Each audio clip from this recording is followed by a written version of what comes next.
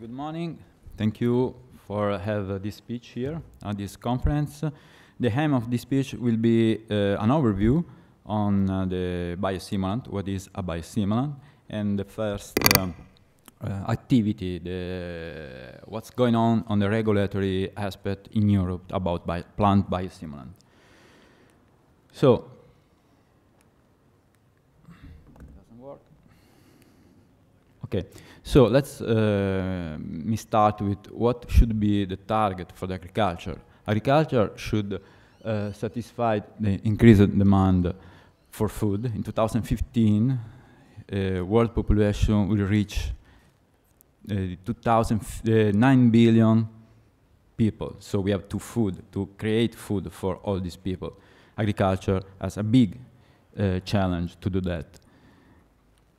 Face the scarcity of resource, increasing its efficiency. So agriculture should increase the efficacy, the capacity to produce, increase the, the yield, reduce the impact of agricultural products on environment, and guarantee sustainability in the long term. To achieve all these goals, one of the most powerful tools we have are R&D, research and development, and innovation. So, uh, entomologists agreed that uh, if from tomorrow bees will disappear from the world, agriculture will have big trouble in produce food for everyone because bees are responsible for more than 70% of pollination for each crop. So it's really clear to us that there is a strict connection between agriculture, biodiversity, environment. So at that point arises a question. Is it possible ensure for all human beings, for all human beings, enough healthy, good food in balance with environment, with the biodiversity? This is the main question. One of the most common answer is yes, just investing in innovation, research, invest in the right way in research and development, in innovation. Exists a lot of examples that innovation, research and development in the last few years increased the yield potential, increased the agriculture potential to produce food. For example, technification, tractors. Uh, 1987, China has had not more than 73 tractors for 100 square meter kilometer, and India more than 42. After 10 years, China, China doubled the number of tractors, and India now has four times more tractor. Another example is, for example, precision agriculture. Today, you know that uh, thanks to the satellite, we can drive the tractor in the field to feed the crop, giving to the crop the right amount of nutrition, nitrogen. So respect the environment, use in the right way, in balanced way, the agriculture, the feeding for the plant, get the best result in terms of field. Another potent, a powerful uh, tools now are the biostimulant. The biostimulant now are well recognized by the scientific world, the researcher, the university, as a tool that is able to work inside the plant physiology, increasing the plant potential, the plant productivity. There are a lot of uh, uh, scientific research, uh, publication work that demonstrate that biostimulants are really powerful to increase the plant potential. Also, from a market point of view, there is a forecast that in the next three years, the market for biostimulant will be three times more high than the traditional fertilizer market. In 2018, there is a forecast that the market of biostimulant achieve almost 2 billion US dollars. So biostimulants are interesting from market point of view, are interesting because seems to be one of the safest way to increase the yield, to increase the agriculture productivity. But let's we go a little bit inside the plant physiology and see how biostimulant can apply, can work together with the plant to challenge the plant potential.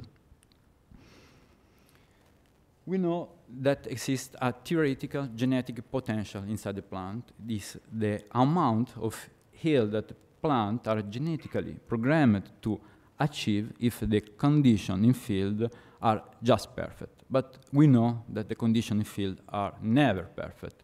So there are some scientific work that demonstrate that, uh, for example, corn can produce per hectare, theoretically, 30, 35 tons. But we know that it's impossible to get this amount of yield per hectare. Why? Because the conditions in field are not perfect. So sometimes we get more, sometimes we get less, but impossible get the theoretical genetic potential. In normal condition, what happens? That plant along the cycle make some choice, depending on the condition the plant find in field. And once the plant take the decision, we cannot modify anymore this decision. For example, if the plant determine two cobs per plant, th this plant will never have more than two cobs. If one cobs, the plant determine 14 rows, we will never have more than 14 rows in this cob. And if determine 17 kernels for each rows, we will never have my more than 17 kernels. This is a normal condition.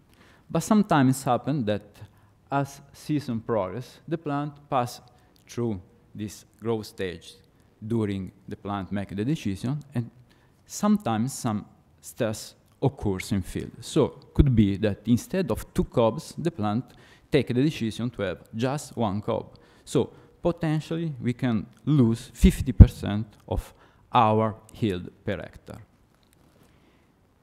That is why it's really important support our plant with the right solution, with the right support for each growth stage. So, summarizing, we have a potential production that is impossible to achieve. We have a standard situation, a stress situation. Biostimulant work inside the plant physiology, taking these curves closer than possible to the potential production. But to do that, we have to be right with the right solution and biostimulant, with the right needs of the plant, to increase the plant performance. But to be right with the biostimulant, we be right with the solution, we have to know deep the plant physiology. So research and development, once again, are really important to let us to go inside the plant, study the plant physiology, the need of the plant, and how biostimulant can interact with the plant physiology and their productivity. Valagro believes that adapting the right solution, the right biostimulant for each stage is the right tool to enhance the plant productivity and exploit the fullest plant potential. But at that point, the question is, what is a biostimulant? So, biostimulant is materials which contain substances and or microorganisms whose function, when applied to the plants of the rhizosphere is increase crop yield and plant vigors, enhance, increase the soil fertility, improve crop quality, increase tolerance to abiotic stress. This is, is the actual definition we have for biostimulant. Obviously, behind biostimulant, we have to explore what makes biostimulant works what are the compounds inside the biostimulant formulation that let biostimulant enhance the plant productivity, the yield. So we need a deep understanding of what we can do with biostimulant in plant physiology. Today exists omics science. Valagro is adopting this kind of omics science that is composed by genomics analysis. Genomics analysis use the microarray technology we can have a look in what happened in the gene after we apply on our biostimulant. How the gene are up-regulated, down-regulated, how the gene are responding to this compound content inside our product, activating some plant physiology process, some plant metabolism, genomic, proteomic, metabolomic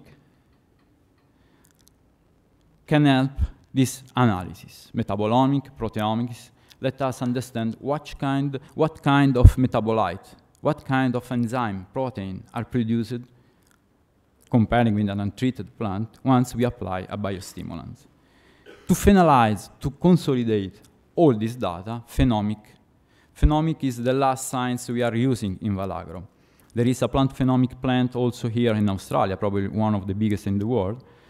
This technology, with this uh, technology, is possible to detect how the phenotype of the plant change, the morphometric parameter change after the application of a one biostimulant or some compound. So all this omic science give us a complete picture of what a biostimulant do inside a plant.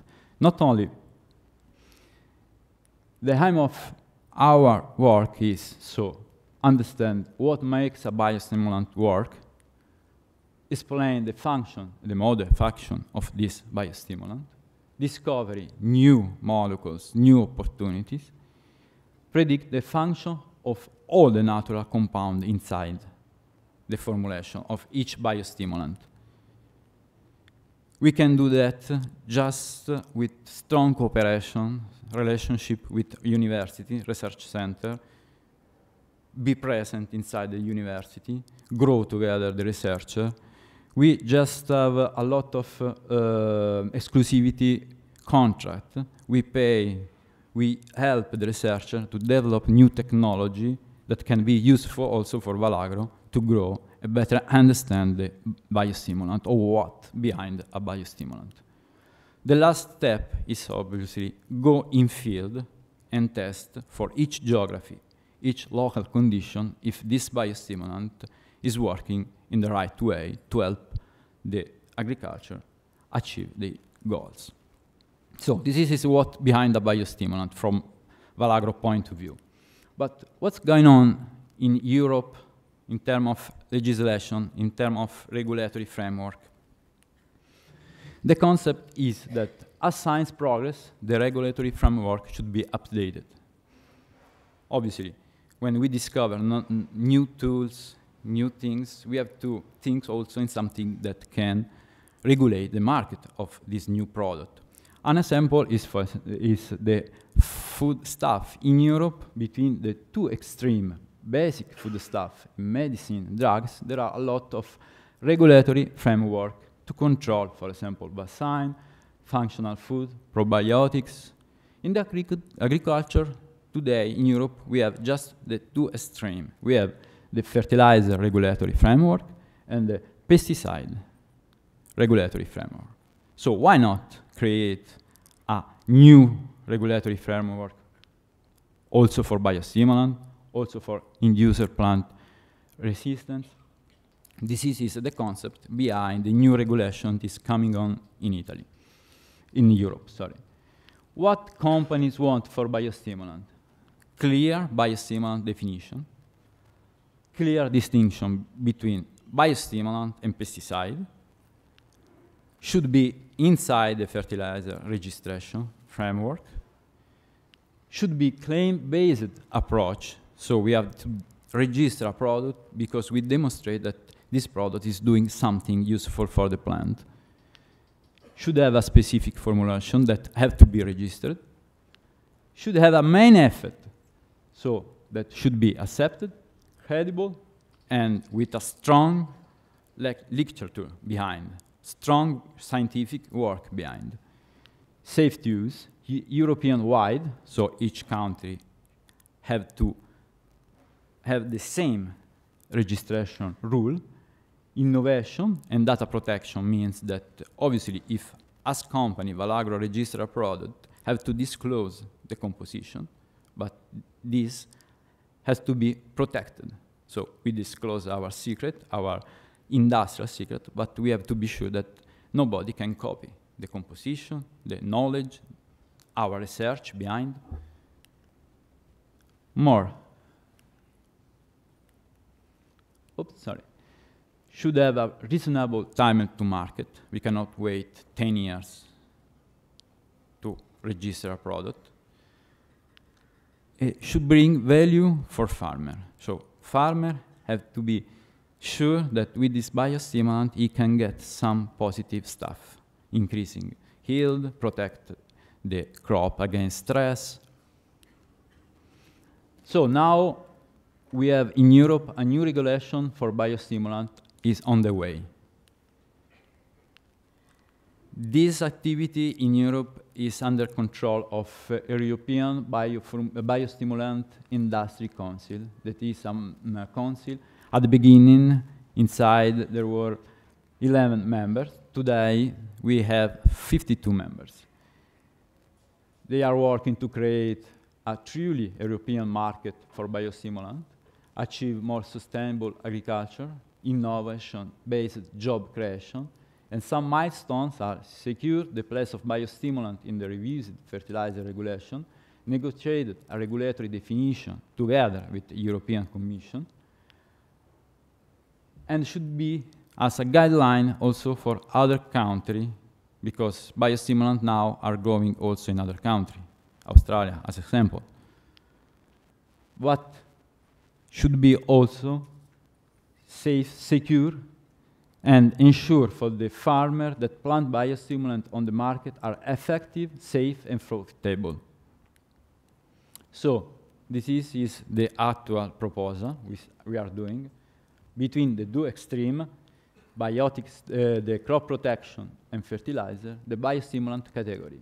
Plant biostimulant means a material which contains substances and or microorganisms whose function when applied to the plants or the rhizosphere is to stimulate natural process to benefit nutrient uptake, nutrient efficiency, tolerance to abiotic stress, and the crop quality, independently of its nutrient content. Abiotic stress climate approach from product to solution. Thank you. I invite you in November, we will have the second World Congress on the use of biostimulant in agriculture in Italy. So if you are interested in uh, biostimulant, I'm really happy to have all you attending this uh, Congress. Thank you.